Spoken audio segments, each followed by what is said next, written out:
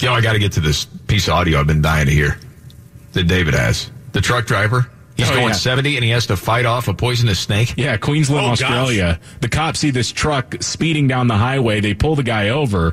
They didn't give the guy a ticket because they found out why he'd been speeding. And the driver named Jimmy was busy trying to fight a highly venomous snake that had gotten into the cab. Oh, it was an eastern brown uh, brown snake.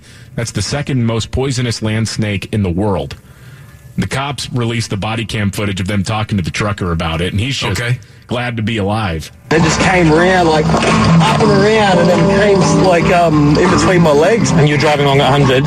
I'm driving along at 100, and I just started to brake. And the more I moved my legs, the more because it's pretty big. It Yeah, started yeah, to yeah. wrap around me, and then its head just started striking at the chair like that. Yeah, between your legs. That was pretty bloody um, terrifying. I'm not gonna lie. Oh, no, I, I would be too. Yeah, I've never been so happy to see red and blue lights. Yeah, and it helps to be able to say, look at that thing. yeah. That's why I'm speeding, man. Right. Thing's crazy. Mm-hmm. Oh, boy. Extra challenge for NASCAR. There's an idea.